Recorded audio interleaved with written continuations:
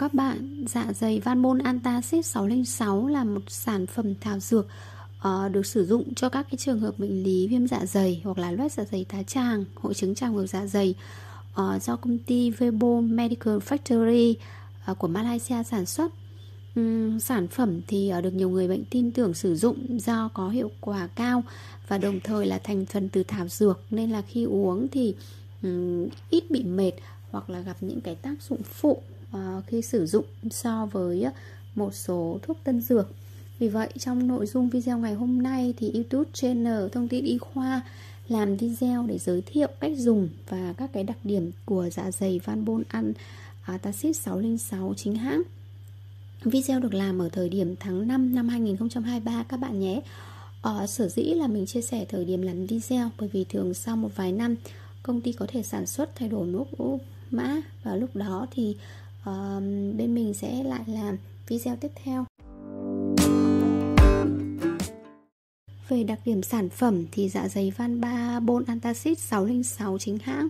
có lọ màu trắng, nắp đỏ và tem cũng như bao bì thì các bạn thấy là tông chủ đạo là tông màu xanh.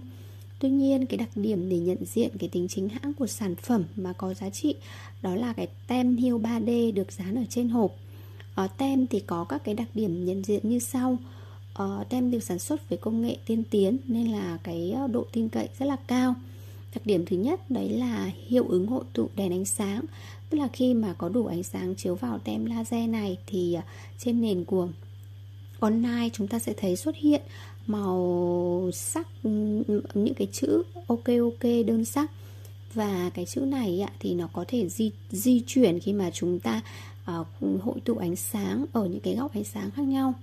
thứ hai, đó là hiệu ứng hiệu ứng chạm nổi. Có nghĩa là chúng ta nhìn bằng mắt thường, chúng ta có cảm giác là các cái bộ phận trên thân thể con nai đang nhô ra.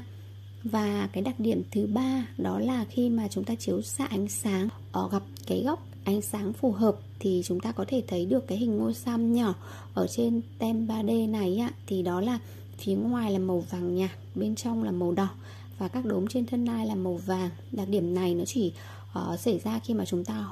chiếu dưới cái ánh sáng phù hợp và um, cái góc nhìn phù hợp. Ví dụ như bản thân mình khi mà mình dùng cái đèn bàn và để cái góc tìm được góc nhìn phù hợp thì mình mới thấy được đặc điểm này. Còn nếu để ở ánh sáng ngoài trời hoặc là đặc biệt để dưới ánh sáng của cái ánh đèn flash điện thoại thì đặc điểm này rất là khó nhìn. Và đặc điểm thứ tư đó là khi chúng ta nhìn nghiêng tem hiêu thì chúng ta thấy hình thể chữ thuốc đông y thuần túy uh, bằng tiếng hoa đây là những cái đặc điểm về mẫu mã sản phẩm ừ, cũng như là cái đặc điểm về tem 3D trên sản phẩm Về cách dùng sản phẩm, dạ dày 606 được bào chế từ các cái thành phần thảo dược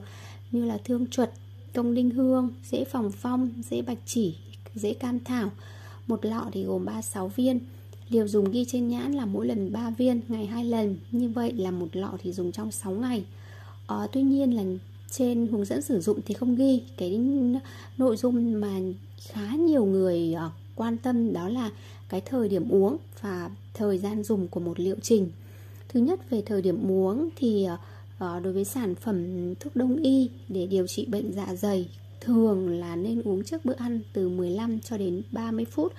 bởi vì làm theo nguyên lý học cổ truyền thì những cái trường hợp là à, bệnh gan thận hư tổn hoặc là những trường hợp ừ, bệnh mà ở vị trí phía dưới từ eo lưng trở xuống hoặc là các bệnh đường ruột ý,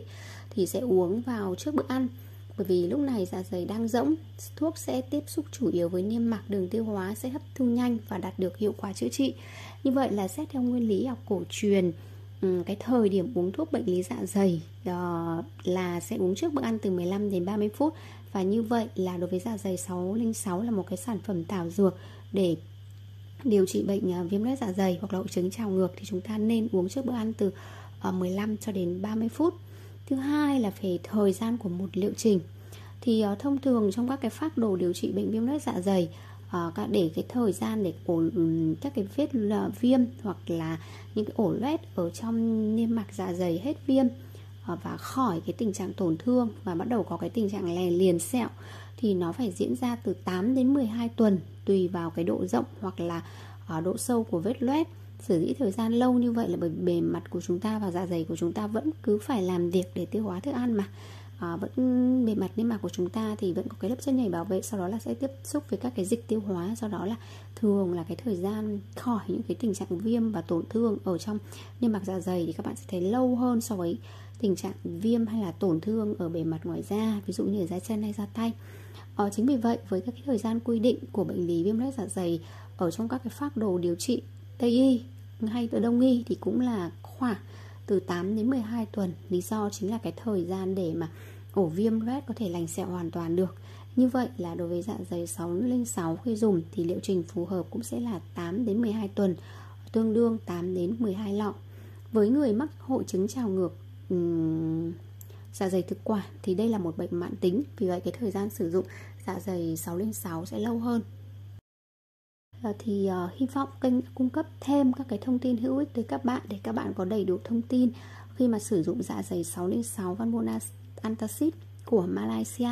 cũng như cái cách để mà chúng ta có thể đặt hàng và quan sát được cái sản phẩm chất lượng chính hãng. Cảm ơn các bạn đã theo dõi kênh, nhớ subscribe kênh để nhận được những thông tin mới nhất, những cái chia sẻ mới nhất về những cái sản phẩm ờ, đông y điều trị tốt cho sức khỏe các bạn nhé. Cảm ơn các bạn và hẹn gặp lại các bạn ở các video tiếp theo.